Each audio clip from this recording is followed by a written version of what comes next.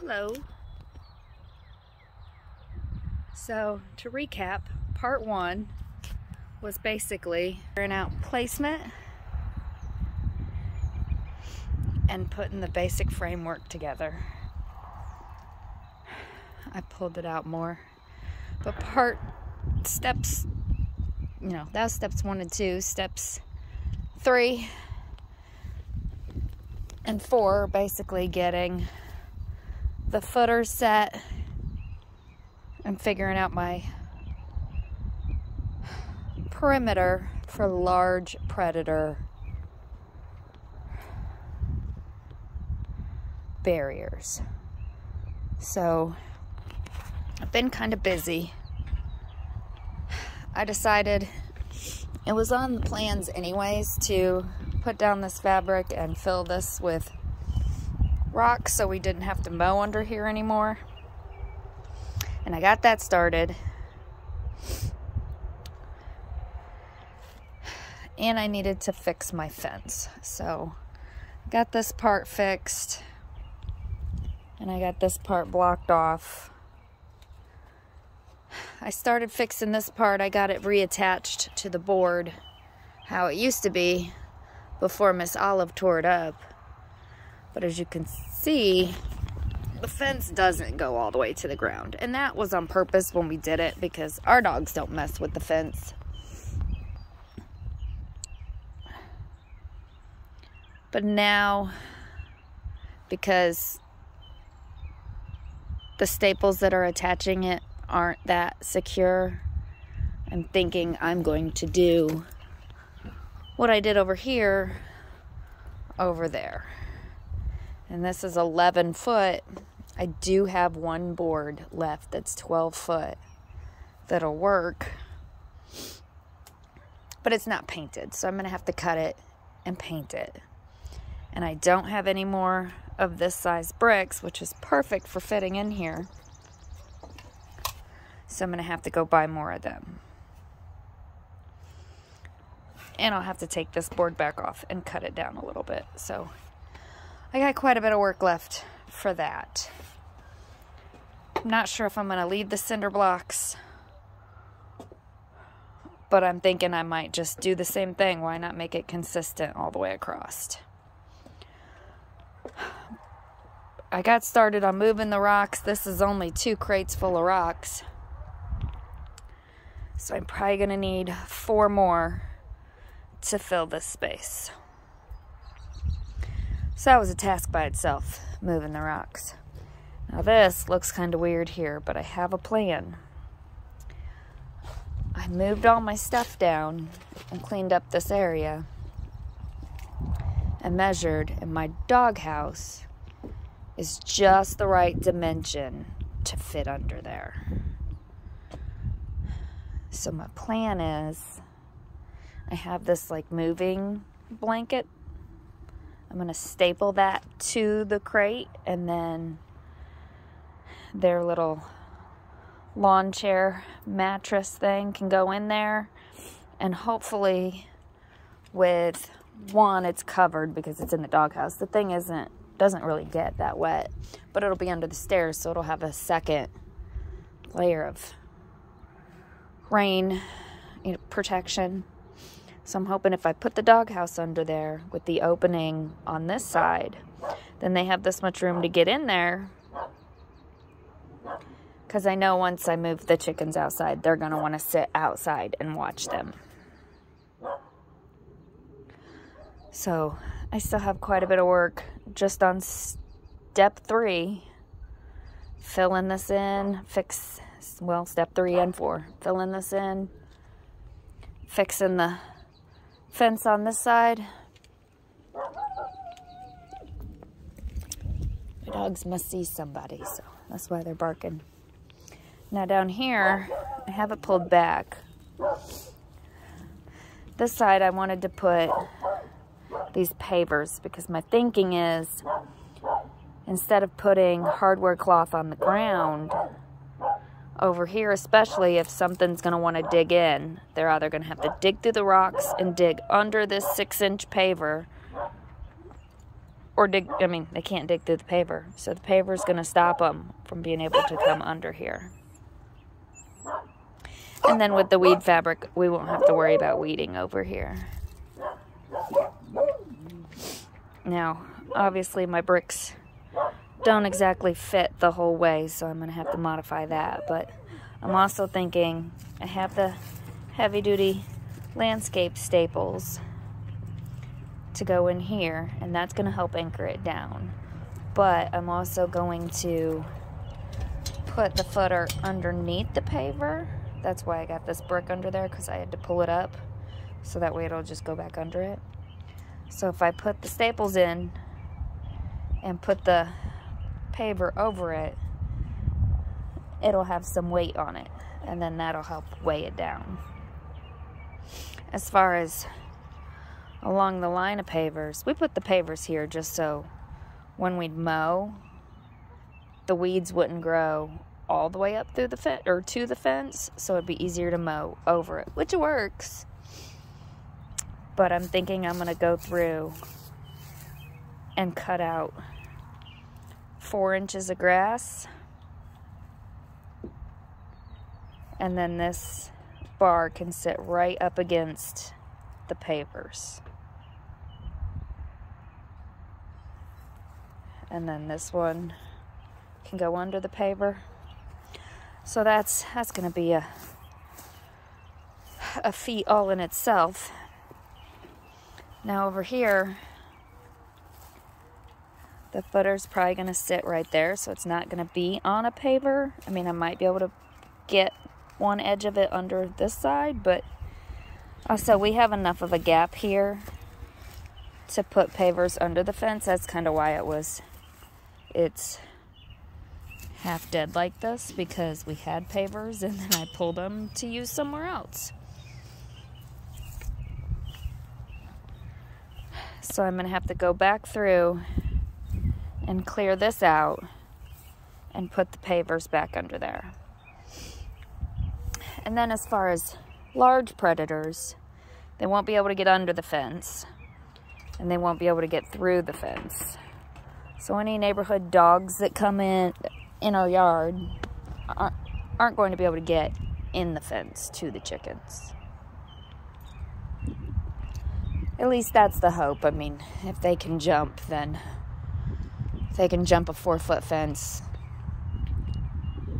then I don't know what to tell you. So that's the plan. I'm not gonna sit here and record me digging out grass and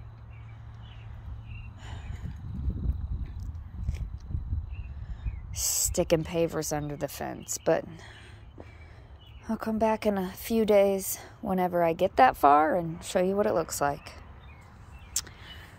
So I guess for you it'll be just a couple minutes, but for me it'll probably be two or three days.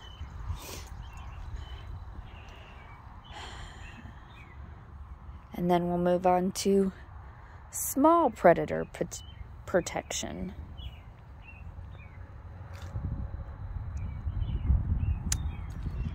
I do think this is going to work a little bit better the way I have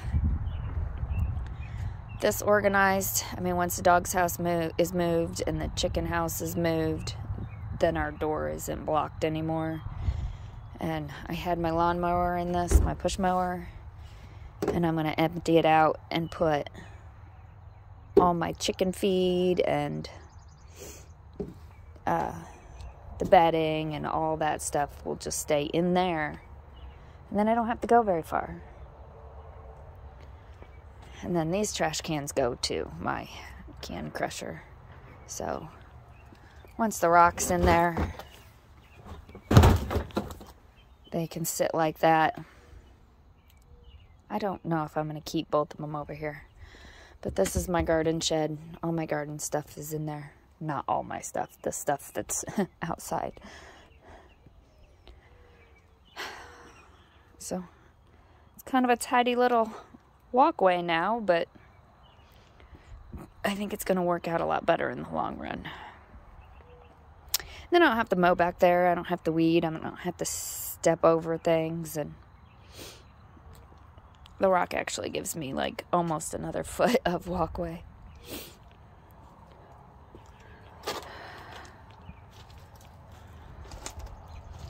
About that much. Alrighty, so I will bring you back when I get that far. And then we'll see what's next. Alright, I got my fence fixed.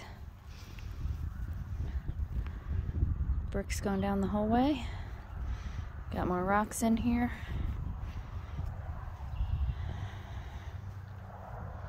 It's getting there. I got all my pavers set down here.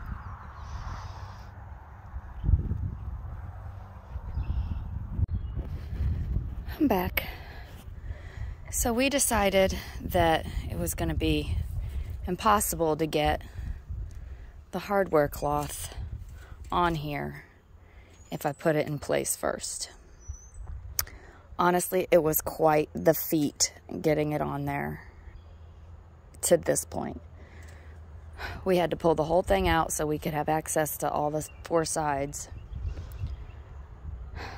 And it's not done done yet, but if I zoom in, you can see I bought these little clips, which are a little complicated to get used to, but that's how I did my first pull for the door. And then we went all the way around, zip tied it at the bottom so we had the exact same distance from the bottom on each one. And then once we got it stretched, we zip tied it to the top. And I just used the cheap ones that came with it just because I knew we were going to have to keep cutting them off to get it right and to get it tight. And we started at this corner, so this corner is all zip tied and ready to go. And I still have to work my way around and zip tie these, the rest of them with the metal. But I'm going to start at this back corner and get the footer in. I have my stakes all ready. I'm gonna get the footer in, get it level, get the next one in, get it level, and zip tie them as I go. That way, if we have any shifting, it's gonna come down. So this side I haven't, I haven't put these clips in there yet because I ended up with, once we pulled it tight, I ended up with more and I want to make sure if I shift it around this isn't going to pop off. So I'll show you what I got. I got it came with the tool to do it. And if you see it's got these little notches so the clip goes in the notch and then this part pulls it tight. I don't think I think I took the bag of yeah, I took the bag in the house, but that's basically how it works. So the kit for the frame came with pre-cut chicken wire, the exact amount that it needs. So obviously we upgraded the bottom from chicken wire to hardware cloth. So we'll have the extra chicken wire. I'll use it somewhere else, but we are going to put the chicken wire on the top. And depending on how it looks when we get it on there, we might even just double up what's on the top. Just trying to make it as secure as possible from the get-go. And I do really love that from a distance, you can just see right through this hardware cloth. I got the black specifically for that. So once we get it all in place and it's not going to move again, then we'll do the top. Even though I haven't messed with my coops yet. Then once I get the door on and it's nice enough outside, we can bring the babies out. They're not even three weeks old yet, so we're not in that much of a rush. But that's my project for today. Getting it level, getting the footers in place. And once I get all that done, I'll go back and keep working on this side. My cat don't know what to think. Hi, baby. She's like, what are you doing? This is weird. This is different. She likes to hide under here. So I'm sure once we actually get the doghouse under here, she'll be in the doghouse a lot hiding.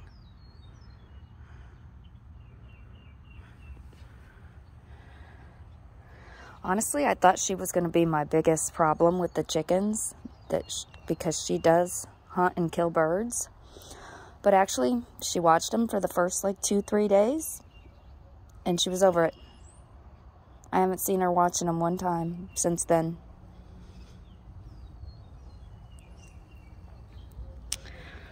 Alright, so that's my project for today. I mean, it's not going to look much different when it's finished, but at least be secured to the ground.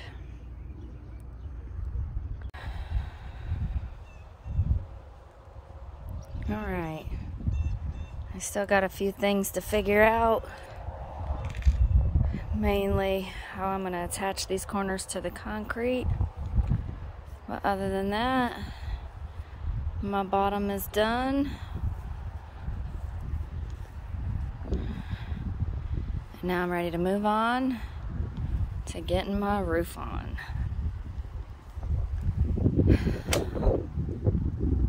And that is going to be hopefully easier than getting the bottom on.